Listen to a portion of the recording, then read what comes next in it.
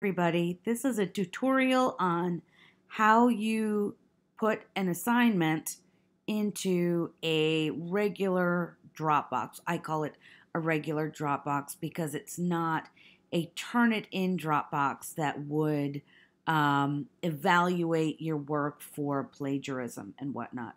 It's just a regular old assignment Dropbox. Here's how you do it. So you can see my cursor here. I'm going to click on the practice Dropbox and you can see this little icon right here. So it's a little piece of paper with a hand. Um, that's how you know it's a regular Dropbox and not a Turnitin Dropbox. So you would click on it.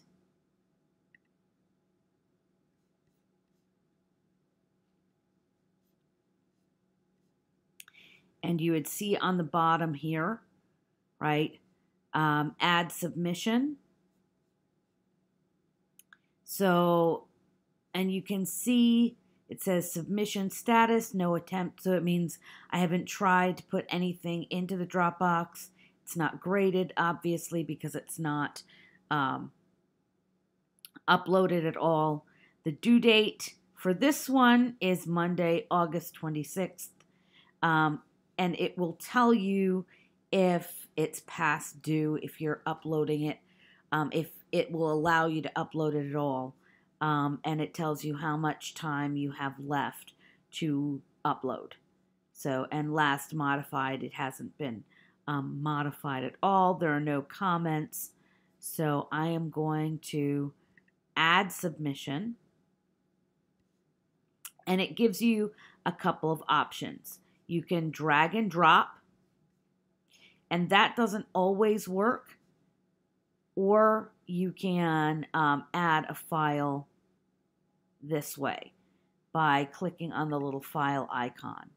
Um, and it will bring up a box like this called a file picker, which whoever thought of that name, I don't know, but um, I guess because you're picking a file. Um, attachment, choose file. And you would um,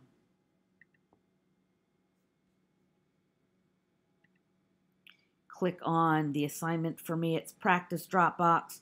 One, notice that I put my name in the subject heading of this assignment so that whoever grades it knows who it belongs to, right? That's really important.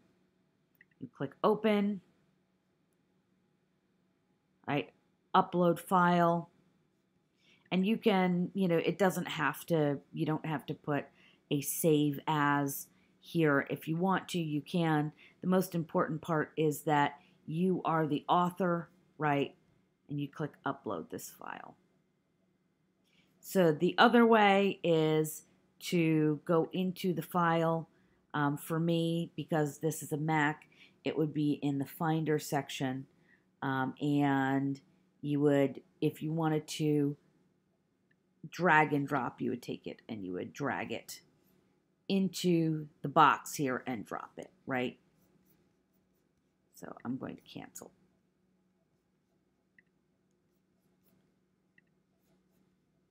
So the important thing here is that whether you use this little icon, right, create folder,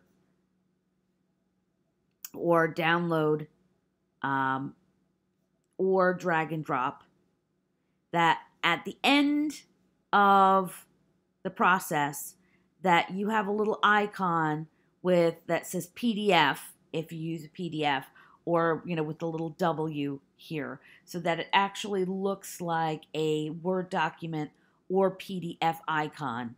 Um, if it doesn't and you click Save Changes, it's not going to save your document. Okay. It's going to say that you attempted to save a document, but it's not going to actually save your document. So I'm going to click Save Changes. And this is what my Dropbox will look like now, right? So it'll say submitted for grading, not graded yet. Um, the due date, how long it is due, um, and the date that it was last modified, which is um, right now, and the actual submission. So make sure that you check this because if you don't actually submit a file, right here will look kind of funky and it won't there won't be a, a link or an actual file upload. Okay, so making sure that you review this part is important. And obviously, there are no comments yet, but if there were comments, you would be able to click on that and be able to see my feedback. So that is how you put an assignment into a regular type Dropbox, right? A regular assignment Dropbox that's not a Turnitin Dropbox.